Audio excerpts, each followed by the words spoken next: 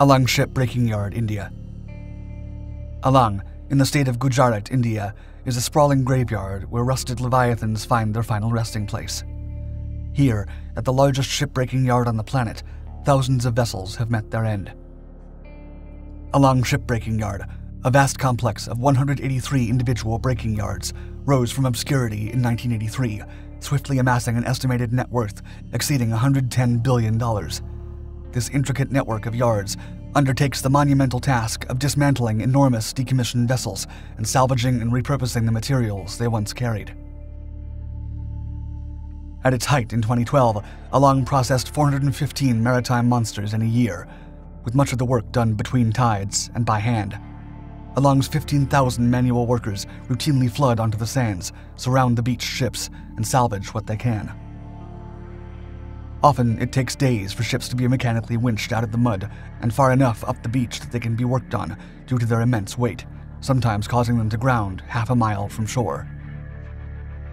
Yet, the ships that meet their end at Alang are not mere shells of steel and iron. Retired freight and cargo vessels arrive carrying a cargo of their own, materials now deemed unsuitable, even hazardous for the shipbuilding industry. Lead, asbestos, acids, mercury, and the deadly carcinogens known as PCBs are daily encounters for workers. This has led to a number of controversies regarding Alang's environmental impact and the health, safety, and working conditions of its employees. The beaches on which Alang is based are heavily polluted, and the water contains a dangerous quantity of heavy metals. The plight of Alang's migrant workers adds another layer to the controversy. Reports indicate they receive half the wages of their counterparts, and there have been allegations of employers erasing employee records of fallen workers to avoid paying compensation. Efforts have been made to improve the workers' conditions, including building the Alang Hospital, which is designed to provide emergency care. However, the extent of the pollution has not improved. The International Labor Office still considers shipbreaking to be one of the most deadly professions in the world, partly due to the noxious fumes and cancer causing gases inhaled by shipbreakers every day.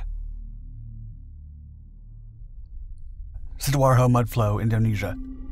In May 2006, PT Lapindo Brantas, an Indonesian oil and gas company, embarked on an ambitious drilling project, christening the new borehole as the Banjar Panji 1 exploration well. Beneath the Earth's crust, an unprecedented disaster lay in wait, ready to unleash a toxic mud volcano of unparalleled scale and consequences. As the company drilled the new well, they penetrated layer after layer of dense clay, sand, shale, volcanic debris, and carbonate rocks. The drilling continued until the well reached over 9,000 feet deep.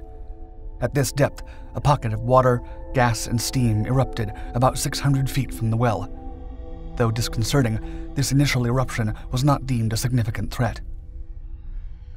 Soon after, however, two more eruptions occurred within 3,000 feet of the well. Local villagers reported encountering hot mud with temperatures around 140 degrees Fahrenheit. Hydrogen sulfide gas filled the air with the acrid stench of rotten eggs. On the fateful day of May 29th, the well unleashed an unimagined fury, creating the monstrosity now known as the Lusi Mud Volcano. It was an unprecedented phenomenon, the most colossal of its kind on our planet. Like a relentless tide, a deluge of mud surged forth, inundating the rice paddies and sugar plantations that lay in its path, destroying homes and decimating livelihoods. The devastation was merciless. A gas pipeline broke open in the eruption, triggering a catastrophic explosion that claimed a dozen lives. The eruption propelled vast quantities of mud up to 700 feet into the air before it came crashing down with incredible force. The volcano continued to emit foul smelling sulfuric gas, water, and hot steam. The mudflow, dangerously contaminated with heavy metals and toxic chemicals, leaked into the local water supply and surrounding rivers, rendering the water red, salty, and undrinkable. At its peak, the Sidoarjo mudflow produced 6.4 million cubic feet of mud daily.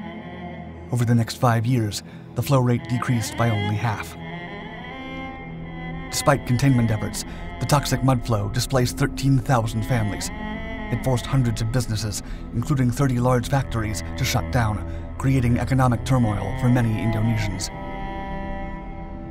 Although officials blamed a minor, distant earthquake for the disaster, a team of geologists developed a model that attributed the catastrophe to P.T. Lapindo Brantas's drilling, which likely fractured pressurized limestone deep beneath the surface.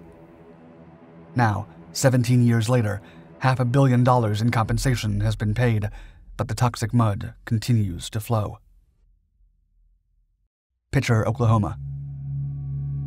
Located in Ottawa County, Oklahoma, is the hollow husk of a once bustling, prosperous, and modern town that has since been abandoned to the ravages of time.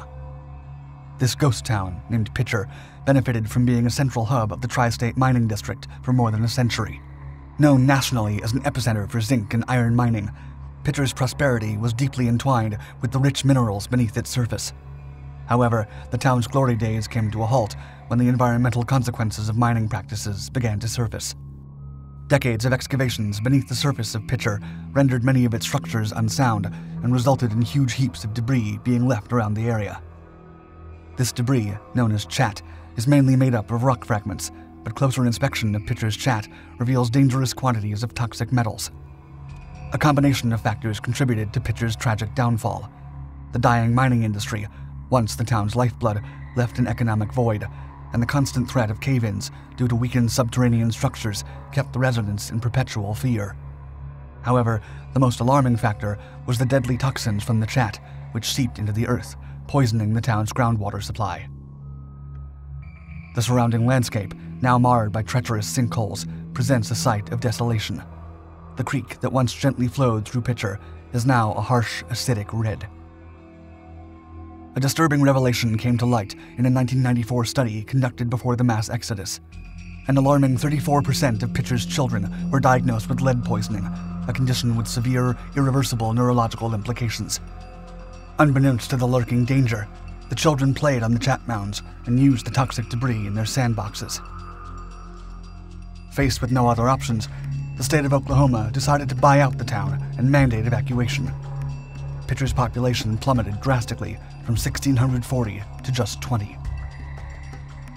Despite being dubbed the most toxic town in America, six households and one resolute business owner refused to be swayed by any price. They continue to inhabit Pitcher today, living without electricity or public services. Yet every year, they are visited by many former residents who return to their ghost town for the nostalgic coming home for Christmas parade. Agbogbloshie, Ghana, Within Ghana's capital city of Accra lies Agbogbloshie, a district infamous for its sprawling electronic waste dumps. An astonishing volume of electronic scrap from the Western world inevitably finds its way here, often under dubious legal circumstances, only to be sifted through by the desperately impoverished citizens of Ghana. Encircled by slums and notorious for rampant crime and deplorable living conditions, Agbogbloshie has acquired a rather grim nickname Sodom and Gomorrah characterized as a digital dumping ground by a Seattle based charity. It is alleged that several Western nations are complicit in the illicit exportation and disposal of electronic waste. However, many continue to challenge these claims, dismissing them as hoaxes. Regardless of the legal intricacies, the harmful repercussions of the toxic materials present in electronic waste on the local population are undeniable. A significant portion of this waste is incinerated, a process that separates plastics from metals and also disseminates toxic pollutants across the land, air, and water. A cocktail of lethal toxins permeates the area, including arsenic, lead, mercury, dioxins, and furans. One study revealed alarmingly high levels of these toxins, with contamination levels in the earth exceeding acceptable limits by more than a hundred times. The poorest among the populace, often migrants and young families, trawl through mountains of waste in search of salvageable items. For the least fortunate, extracting copper, aluminum, and iron from the debris represents their sole source of income. Yet, despite the myriad of lethal chemicals these workers are exposed to, their wages are criminally low.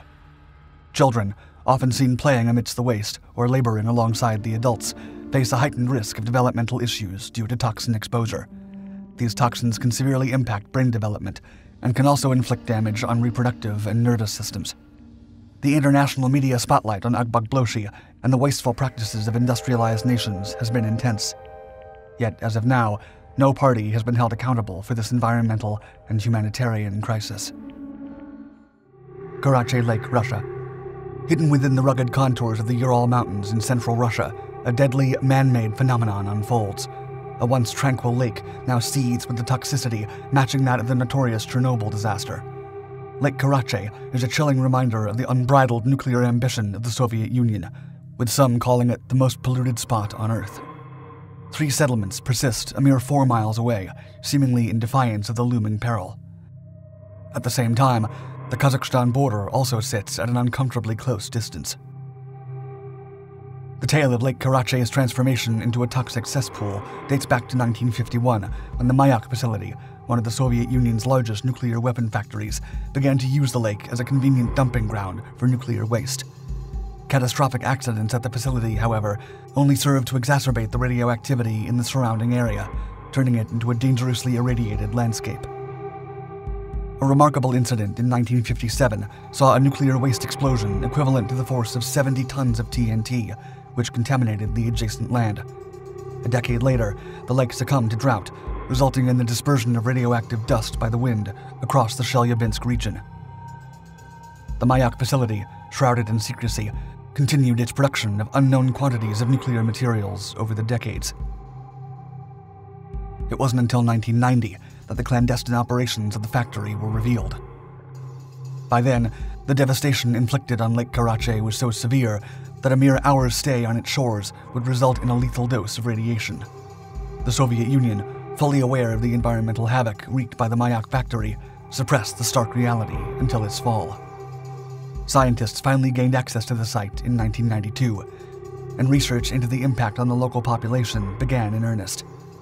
The fallout from Mayak's reckless operations was grim, with a reported 21% increase of cancer cases, a 25% rise in birth defects, and a 41% spike in leukemia cases in the Chelyabinsk region. Only in 2003, after years of unchecked operations, the Mayak nuclear facility was stripped of its license. However, the damage inflicted is irreparable, rendering the area uninhabitable for an unforeseeable future. Would you visit any of these contaminated places? Comment below, and also let me know what other strange parts of the world you want me to explore. Thank you for watching Dark 5. Like and subscribe to continue exploring the greatest mysteries of this world and beyond.